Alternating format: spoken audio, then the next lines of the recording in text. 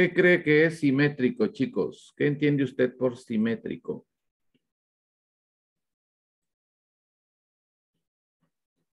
Nada.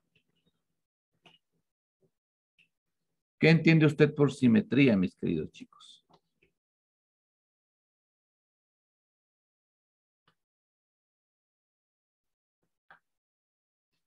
Mm, balance.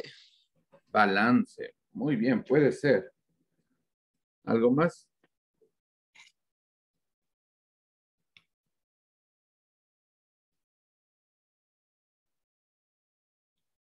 Nada, nadie.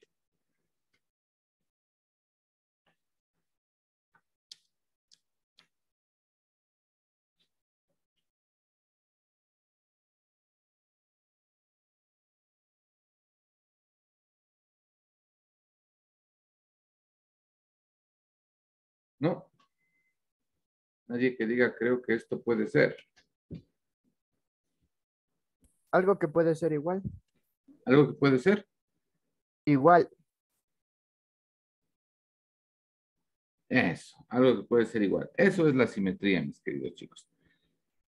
Por ejemplo, nosotros tenemos simetría bilateral externa. ¿Ok? Así, cuando usted estudia antropología, le dicen que el ser humano es simétrico externamente. ¿Qué quiere decir? Que nosotros podemos trazar una línea en la mitad, ¿ok? Y las dos caras o las dos partes del, trazo serán exactamente iguales, mis queridos chicos. Si nosotros vemos, por ejemplo, esta tabla de distribución de aquí, ¿ok? Que es esta pequeña de aquí, esta, esta imagen, nosotros vemos que es una distribución y en la mitad nosotros trazamos una línea y va a ser igual de aquí para acá que de aquí para acá. ¿Ok? Esa es, eso quiere decir que tiene simetría.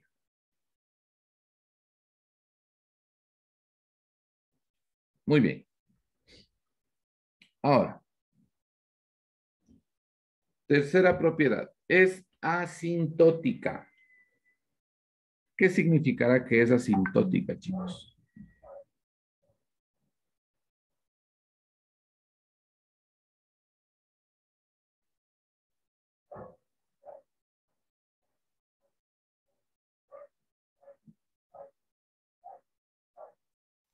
Tiene asíntotas, o sea que no se tapan con el eje. ¿Cómo? No lo escuché. Eh, que tiene asíntota, o sea, que no se tapa con el eje. Ya. Dice que es asintótica, es decir, que no tiene una, em, que ningún valor de ellos tiende al infinito.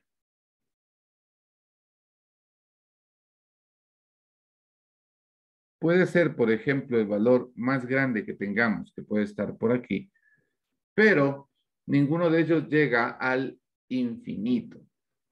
Recuerden en segundo, creo que fue en primero, que les enseñé acerca de las asíntotas.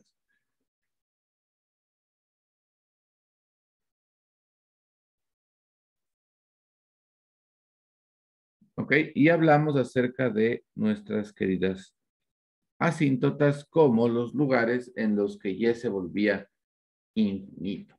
¿No es cierto? Pero en este caso no hay valores infinitos. Muy bien. El cuarto.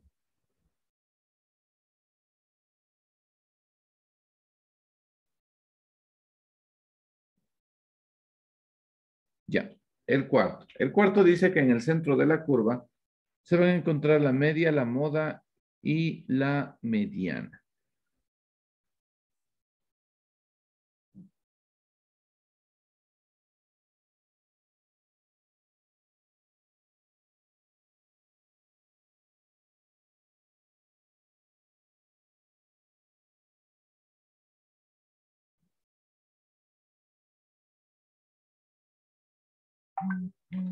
Bueno, ¿qué es la media, la moda y qué es la mediana, muchachos? Vamos a ver, ¿qué es la media, media, media, moda y mediana? ¿Qué es la media? Eso deberían ya saber ustedes. ¿Qué es la media? O también llamada media aritmética.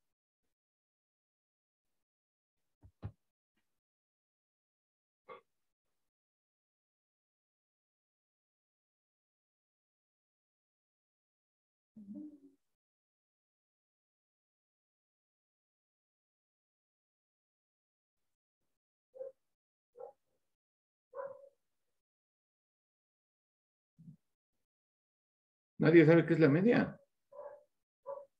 Nadie va a participar.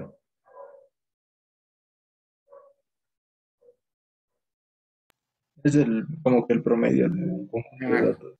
Perfecto, eso es todo, es el promedio, la media. La mediana, ¿qué será?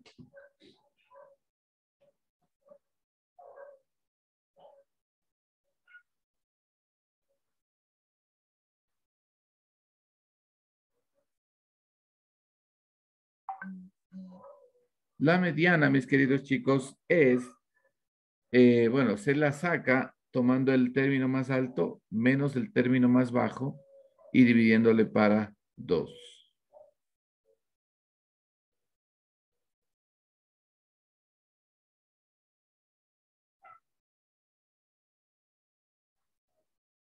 Ya. ¿Y la moda? ¿Qué será, chicos, la moda?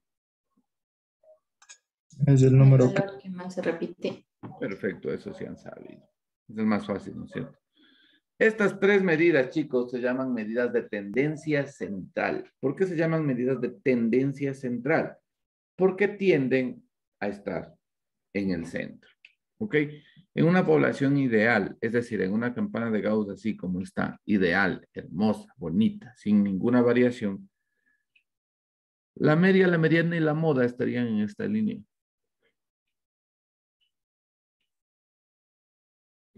¿Ok?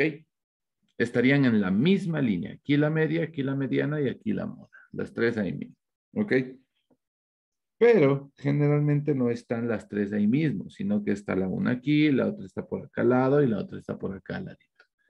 Pero las tres tienden a estar o a ubicarse en el centro.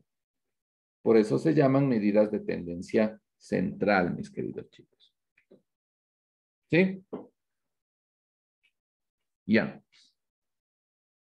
Y también hay una más. Si nosotros sacamos la varianza, ¿no es cierto? Que ya es un, una situación este, ya de hacer, de trabajar con datos, que no lo vamos a hacer ahorita. Pero si yo sacara este, la mediana, más bien dicho, si yo sacara la variación estándar, la variación estándar, chicos, estaría donde Ya. Estaría. eh, ¿Dónde está? Ya, la variación estándar estaría ubicada aquí, eh, perdón, aquí en el centro, mis queridos chicos. Igual. ¿Ok? Muy bien, muy bien, muy bien. Muy bien, hasta ahí. Por el momento veamos qué hay. Permítame un segundo.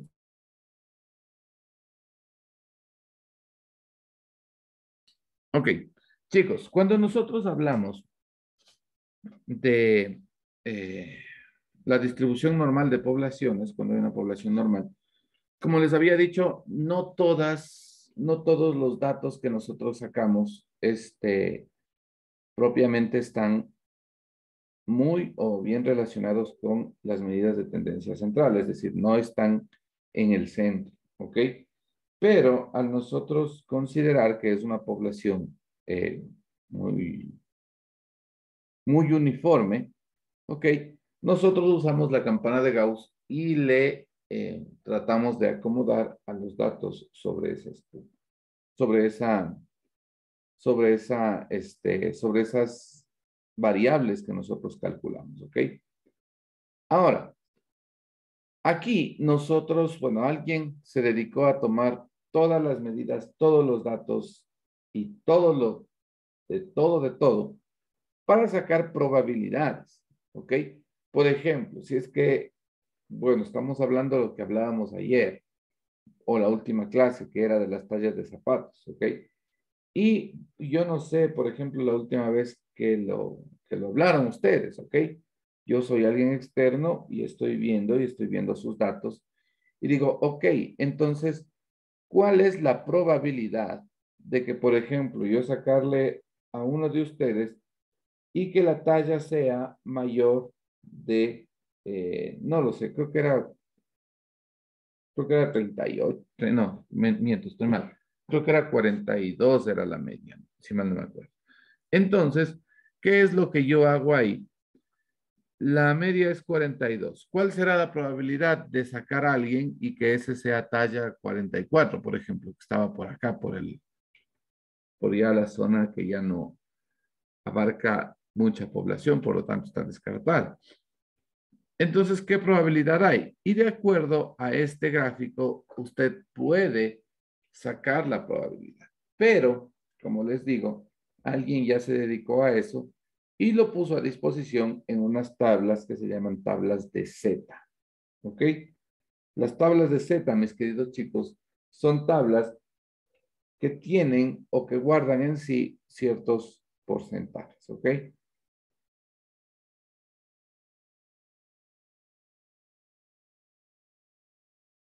Ya. ¿Dónde puedo yo sacar ejercicios de Permítame.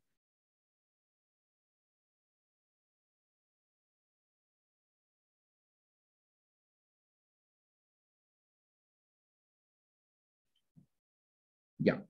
Muy bien. Vamos a ver un pequeño ejemplo de esas tablas, ¿no? Este es un pequeño ejemplo de esa tabla, miren. Entonces, nosotros nos manejamos con esta tabla para no hacer un procedimiento que, bueno, no les voy a enseñar, pero eh, puede sacarse, ¿no? ¿Cómo nosotros hacemos? ¿Ok?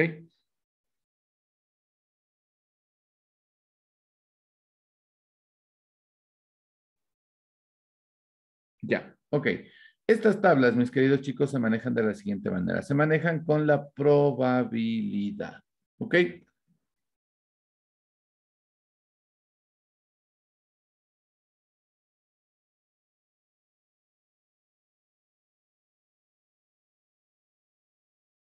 Ya, ok. A ver, chicos, perdón, estoy acá con una situación. Muy bien. Entonces, ¿qué es lo que sucede? Miren, aquí, esto de aquí se lee de la siguiente manera. ¿Cuál es la probabilidad de que lo que yo quiero escoger sea menor o igual a 0.46? Es decir, este dato, chicos, que estamos alcanzando nosotros aquí, es este, ya. Y queremos calcular la probabilidad, ¿no es cierto?, de que Z sea mayor o igual a 0,46. ¿Qué es Z primero que nada? Z es lo que yo quiero calcular. Por ejemplo, eh, que sea, eh, no lo sé, que sea, eh, bueno, ya, ya les voy a explicar cómo sacar Z para que usted se dé cuenta, ¿ya? Pero bueno, en fin, este, tenemos el 0.46, ¿no? Entonces, en la tabla de Z nosotros tenemos estas que son centésimas y estas que son décimas, ¿ok? Tenemos que ubicar el 0.4 y e irnos hasta el 0,06, porque ahí se forma el 0,46 y ahí yo ya puedo ver qué probabilidad hay, que en este caso es 0.6772, ¿ok? ¿Sí? ¿Cómo entonces nosotros calculamos esa, ese valor de Z, chicos? ¿Cómo nosotros calculamos ese valor de Z? Porque usted dice, ok, pero ¿qué significa Z? ¿Sí? Z se calcula de la siguiente manera, mis queridos muchachos. Les voy a poner en este lado de acá. Muy bien. Z se calcula de la siguiente manera. El valor menos la media sobre la, este, ¿cómo se llama? Varianza ahí. Desviación estándar. ¿Ok? Ya. Entonces, de esa manera nosotros calculamos la, el valor de Z para poder averiguar mi, eh, mi probabilidad. ¿Ok? Muy bien. ¿Cómo entonces? Por ejemplo, dice lo siguiente, la temperatura de Guayaquil durante el mes de agosto está distribuida normalmente con una media de 28,5 grados centígrados. Esto es U.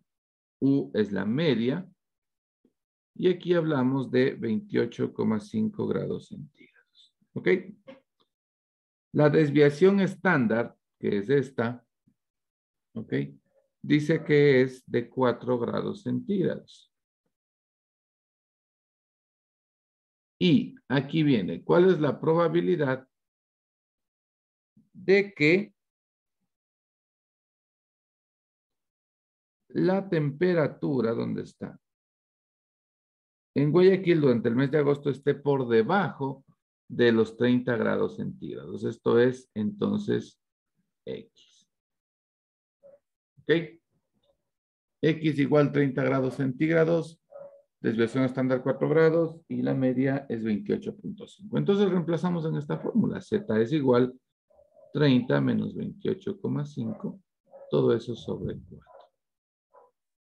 30 menos 28.5 entonces me da como resultado 28.5, 29.30, 1,5 sobre 4. ¿Ok? Entonces, 1.5 sobre 4 me da 0,375. Tengo mi tabla, ¿ok? O mi valor de Z. ¿Qué es lo que hago? Inmediatamente me voy yo a mi este, tabla, ¿no? En este caso sí funciona, 0.1, 0.2, 0.3 y me voy hasta el 7, que sería 0,6443. ¿Ok? Entonces, mis queridos chicos, así 0, le decía, ¿cuánto era 0,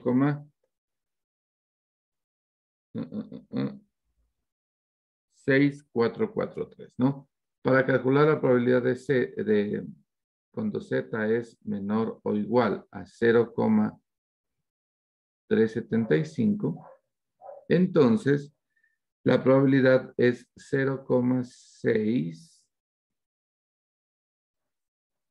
0,644.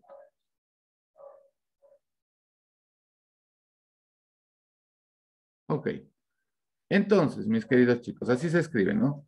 Probabilidad de que Z sea menor o igual a 0.375, que es lo que me salió del valor de Z, es igual a 0,6443. Es decir, un 64% de probabilidad de que la temperatura en Guayaquil sea del 30, de 30 grados. ¿Ok? Entonces, con los datos que nos dieron, mis queridos muchachos, lo que hacemos nosotros es simple y sencillamente averiguar cuál es la probabilidad. Ok. ¿Alguna duda hasta ahí?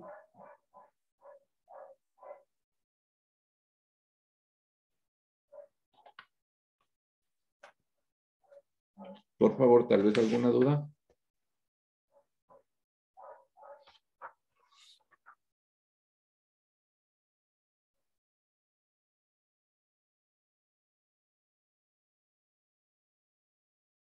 ¿No? ¿Ninguna duda? Ya, ok. Miren, cuando nosotros calculamos esto, mis queridos chicos, les voy a hacer una explicación y después, pues, trabajamos, ¿ok?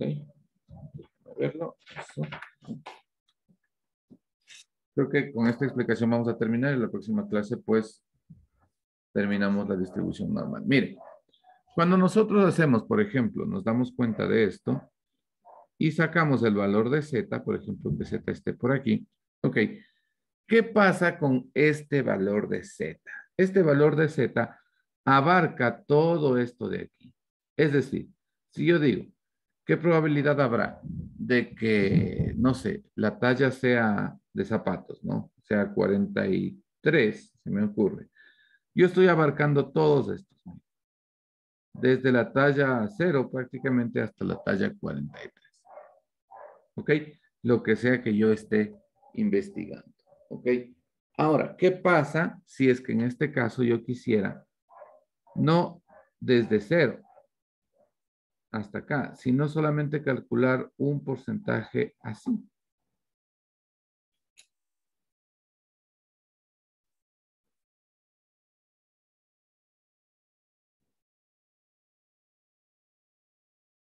¿Cómo lo haría? Si solo quiero calcular un porcentaje, no desde cero, sino desde un valor hasta otro valor.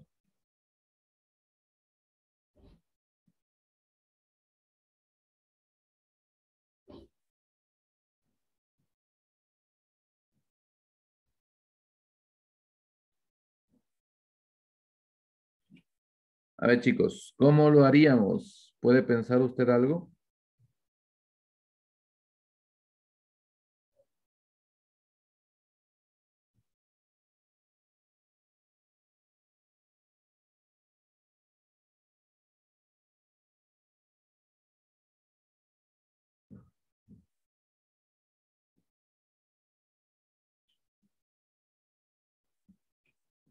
¿Le digo?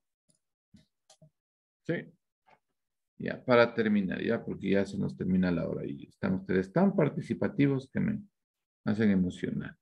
Ok, miren, para la primera, ¿no es cierto? Para esto, para resolver esto, nosotros vamos a hacer la siguiente cosa, chicos. Primero vamos a calcular la probabilidad de Z para este valor de aquí, ¿ok? Es decir, que me calcule la probabilidad de Z para todo este rango de valores, ¿ok? Después hago otra probabilidad para que me calcule el límite inferior, que sería esta raya de aquí, es decir, para que me calcule todas estas posibilidades. Ok, y después lo que voy a hacer es restar esta probabilidad menos la de acá, porque ahí se van a restar todas estas probabilidades y voy a quedar así. ¿Ok? ¿Sí? Próxima clase hacemos ejercicio con eso, chicos. Nada más, muchachos. Cuídense mucho. Nos vemos la siguiente hora de clase. Cuídese. Bye.